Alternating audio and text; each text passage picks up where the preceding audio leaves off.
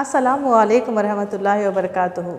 How are you all kids? I hope you all are enjoying your video classes and you are learning from your teachers by being safe at home. Today I am here with a new topic for you all that is factorization. Now before we start this topic, we have to recall few terms that you have already learnt in class 4. Now those things are prime numbers, composite numbers, factors and prime factors.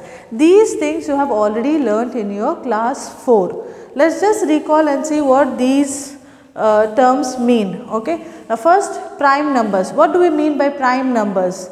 The numbers that are divisible only by 1 and itself are called prime numbers. For example, like number 2, 5, 7, 11 and so on. These type of numbers they are divisible that means only two numbers will divide them that is 1 and the number itself they are called prime numbers. Composite numbers opposite of prime numbers. Composite numbers can be divisible by more than two numbers that means more than two numbers divide them like for example 4.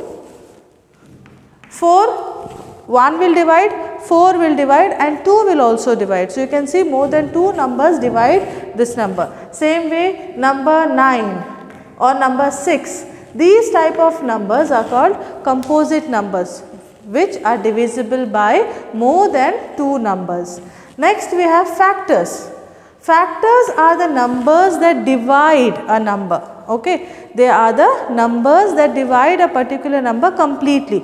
We call them factors of that number. Then next we have prime factors. Now factors we know what they are okay.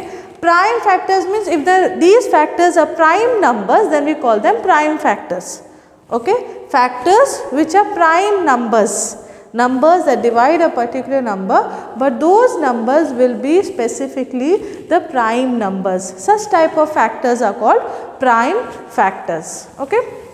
Now factorization means we are going to find the factors of a given number but in that also we are going to do is the prime factorization. That means we are going to find the factors which are only the prime numbers a number will be given, you will find the factors of that number but not all the factors.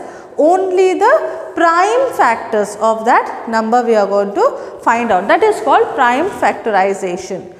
Prime numbers, prime factors we are going to find.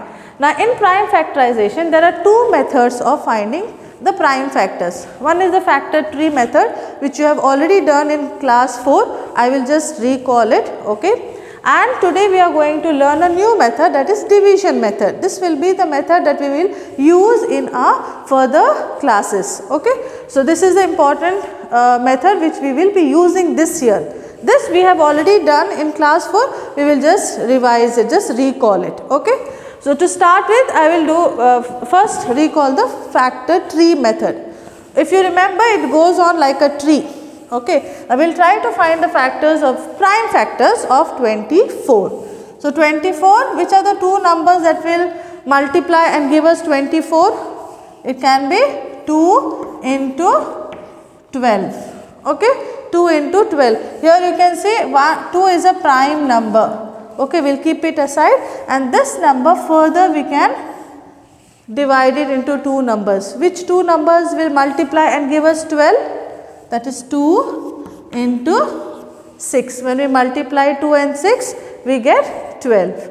Again you can see 2 we have got a prime number over here. 6 further we can divide I mean further we can find two numbers which will multiply and give us 6. So 2 into 3 gives us 6. Now you can see this is the factor tree method. It goes like a tree.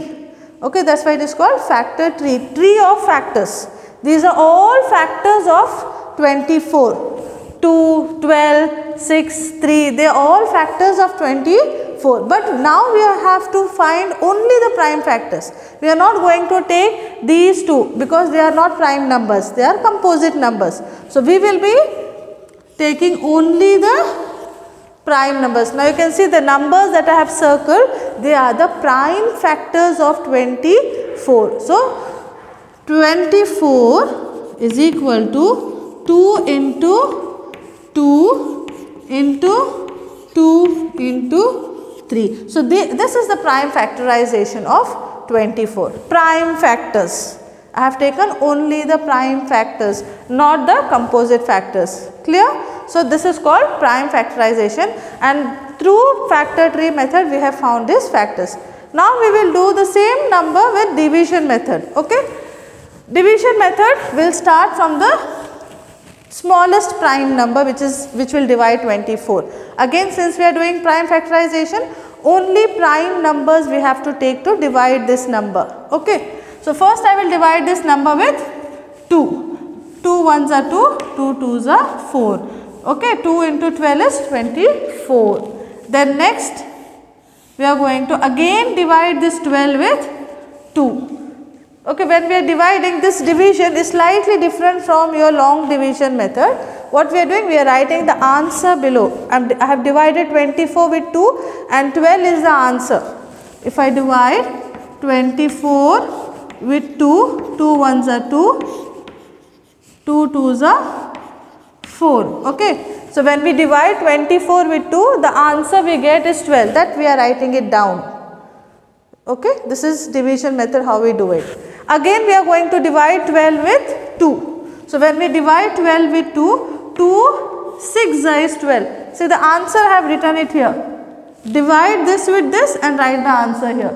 Okay, divide this with this and write the answer below. Okay, this is how we do division method. Again we are going to divide this 6 with the prime number, smallest prime number which will divide this.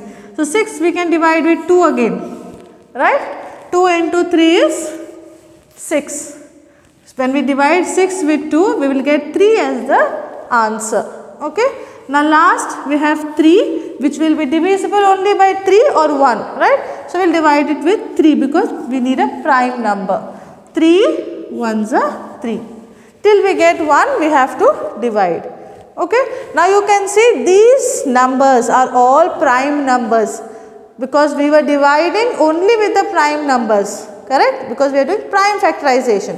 All these prime numbers are the factors of 24. So, these are the prime factors of 24. 24 is equal to 2 into 2 into 2 into 3. Okay, so the prime factorization of 24 is 2 into 2 into 2 into 3. You can see both the methods will give you the same answer the answer will be the same. See 3 2s and 1 3 we have same thing we got over here also. But the way we do it is different. The most used method is division method. Okay. Practice this method at home so that further when we are going to do LCM HCF we are going to use only this method division method.